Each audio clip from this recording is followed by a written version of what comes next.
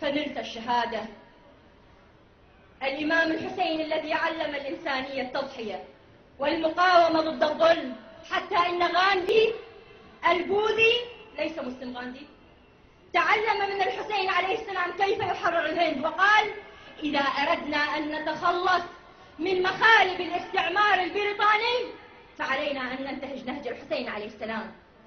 غاندي ذلك الرجل البوذي الغير مسلم حرر الهند عليه السلام واليوم علينا نحن المسؤولين. نحن أتباع الحسين. نحن المسلمين. نحن أتباع أهل البيت عليه السلام. أتباع الأئمة العظماء. علينا أن نحرر بلد الحسين من الاحتلال. نعم لأن بلد الحسين محتل. كيف؟